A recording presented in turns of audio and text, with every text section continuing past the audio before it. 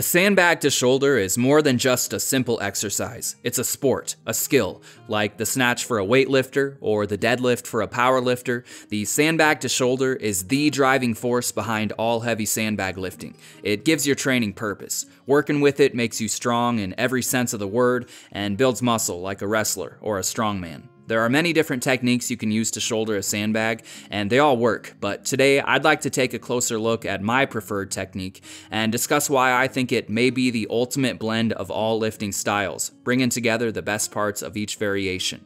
Before going any further, I'd like to give credit where it's due. I first saw this lifting method used by the modern stone lifting legend Andy Crawford. I highly recommend you look him up if you haven't already. Moving on, when you see this video, what comes to mind?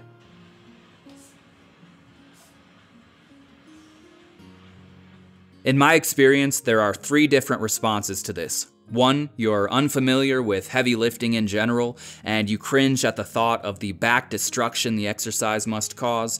Two, you are familiar with heavy lifting, but haven't done much, if any, odd object lifting. Your thoughts probably center around that underhand arm position and a fear of snapping a bicep tendon. Three, your thought is simply, okay, this is pretty cool. You've either lifted sandbags before, or maybe you just haven't accepted the general consensus that the human body is this fragile thing ready to break at all times. Let me just briefly address each of these. 1. The back. While this usually ends up being less of a concern for seasoned lifters, as the back is incredibly adaptable and will likely become the strongest part of your body quickly, the fear is not unfounded. You can get into trouble if you're not prepared. To keep your back safe when shouldering a sandbag, my recommendation is to focus most of your attention at all times on breathing and bracing. Proper bracing protects your spine and will also make you significantly stronger. Before every step of the movement, every transition along the way, you must take a deep breath, as deep as you're able, and brace your stomach hard. This is known as the Valsalva maneuver, and it's the foundation of all heavy lifting.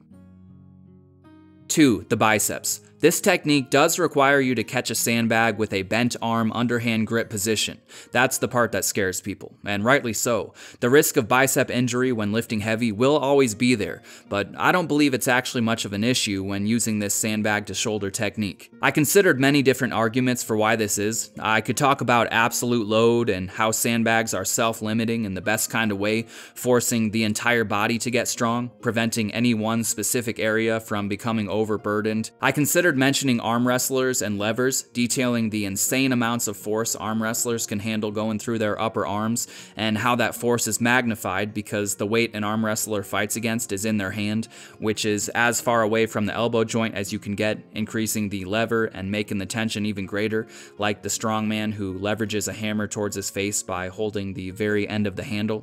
I considered discussing underhand power cleans and Yates rows, making an argument that there are much more dangerous things being done in a typical gym setting every day. I also thought that maybe making a point about how the arms are incredibly strong in a static flexed position might be a good idea, and how this is the natural, instinctive way we shape our bodies when preparing for anything strenuous, like a wrestler who sets himself up in an athletic stance by flexing many of the joints in his body, storing up tension, but I realized none of that matters. The truth about this sandbag to shoulder lifting technique is that the biceps aren't really there to do the heavy lifting or to absorb the weight of the incoming sandbag at all. Yes, your hand will wrap around the sandbag as you catch it to help guide it, and there will be some small amount of force transferred onto the biceps because of this, but the majority of that force is actually absorbed by the entire body. The elbow is flexed, the arm is in an underhand position, but the sandbag actually lands at a point that's above the elbow joint, directly onto the bicep itself. The only way the bicep would be in danger is if you somehow manage to catch a sandbag in your hand or on your forearm, forcing the bicep to prevent movement at the elbow joint, but that just wouldn't work. Sandbags are bulky, and trying to catch one like that, it would just fall back to the ground. Anyone new to this sandbag to shoulder lifting style should spend some time practicing with lighter weights to master the form. Done wrong, there is always that risk of injury, but when done correctly, it's much less of a concern than you might assume at first glance. 3. The final response. This is cool, I want to try it myself. Let's get into it. Begin by lifting a sandbag from the ground and placing it in a horizontal position on your lap. From there, drape both of your arms over top as far as you're able with a double overhand grip. Initiate the next part of the movement by reaching your hips back like a spring storing up energy, then violently extend with everything you have, imagining as you do your intention is to simultaneously jump into the air and throw the sandbag up and over your head. As the sandbag reaches max height, reach one of your arms underneath and catch it with an over under grip. From here, continue moving the sandbag up towards the shoulder on the side of your underhand arm, rotating it as you do. With every heave, your intention should remain jump and throw. It's a simple movement, but it will take some practice to master. Now let's go over why I think it's possibly the best shouldering technique there is.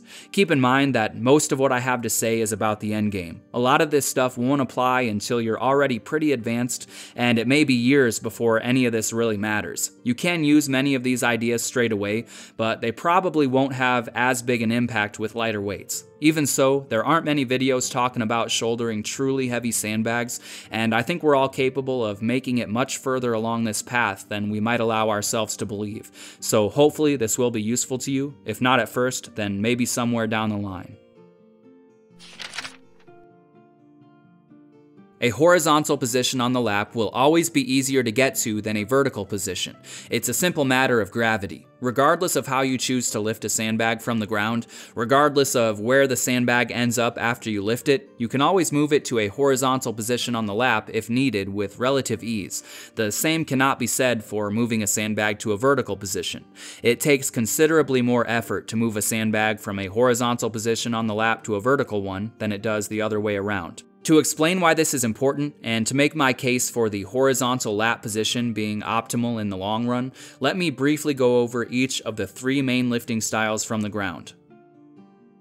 Lifting from a horizontal position on the ground is straightforward, and at first glance probably seems like the obvious choice when the goal is bringing a sandbag to a horizontal position on the lap. Just lift the sandbag straight up from the ground to your lap, and you're set. But what if you can't lift the sandbag off the ground from that position? For many lifters, the horizontal lift from the ground is significantly more difficult than the other techniques. As you get stronger, the sandbags you lift get longer, which means a wider grip and a more bent over torso angle. It's like deadlifting a barbell with a standard shoulder width grip versus using a snatch grip. The snatch grip will always be harder. Because of this problem with difficulty scaling, the stronger you get, the more difficult the exercise becomes. It's very likely your strength from the lap to the shoulder will eventually outpace your ability to lift a sandbag from a horizontal position on the ground up to your lap. Moving on to the second lifting position from the ground, lying vertically, if you're strong enough, all you need to do is lift the sandbag to your lap, then push it over. In a perfect world, that would be all there is to it, but I would argue this technique has a problem with difficulty scaling as well. As you become stronger, again, the sandbags you lift become longer, and using this lifting technique, the sandbag will have a tendency to run into your body on the way up. The only way to overcome this is by either moving the sandbag further out in front of you, dramatically increasing the strength requirement, or by trying to kind of shimmy the thing up once you reach the halfway mark, which in my experience is a very difficult thing to do. And best case scenario, even if you do manage it, it will leave you worn out, taken away from the rest of the shoulder attempt. That leads us finally to the lift from the ground to the lap with a sandbag starting in an upright standing position. Unlike the previous two, this technique uses the increased length of heavier sandbags to its advantage. The longer a sandbag is, the taller it will stand, meaning you won't need to bend over as far to lift it, which means a lower strength requirement. If you have the strength to lift the sandbag all the way up from the ground to the lap in one continuous motion, again, all you'll need to do is push it over from that vertical position to a horizontal one, letting gravity do the work for you, and you'll be good to go. This will work up to a certain point, but there's more to it. The trick is, as you become very advanced with the sandbag to shoulder, there will come a point where your strength from the lap to the shoulder will outpace even this most advantageous lifting position from the ground. Eventually, you will most likely need to alter your technique one final time. Unless you happen to be one of the few who is uncommonly strong off the ground, the only realistic way to lap a very heavy sandbag will be to decrease the range of motion by leveraging it against one leg and moving it to a horizontal position on your lap. It won't be easy, you'll have to fight pretty hard for it, but at a certain point, this becomes the only viable way forward. For many, it's the only way to even attempt shouldering very heavy weights. This means lifting from a horizontal lap position sets you up for success in the future, where more likely than not, a horizontal lap position will be mandatory because the leveraging technique is your only option for lapping truly heavy sandbags. Next, let's move on to why lifting from the lap in a horizontal position is more powerful anyway. Remember back to what I said about this lifting technique. You should initiate the movement by reaching your hips back, storing up energy like a spring, then extending with everything you have, thinking jump and throw. Now, while you can do this with a sandbag in a vertical position using a bear hug grip, at a certain point, once you reach your hips far enough back, the sandbag will begin falling away from you, forcing you to focus more on keeping hold of it and less on being as explosive as you can. With the sandbag resting horizontally on your lap, however, you're able to easily, maximally load your hips and then extend with every ounce of power you have without fear of losing hold of it. Now add to that the double overhand grip. This grip makes it very easy to throw the sandbag and allows it to naturally roll up your body, following the path of least resistance.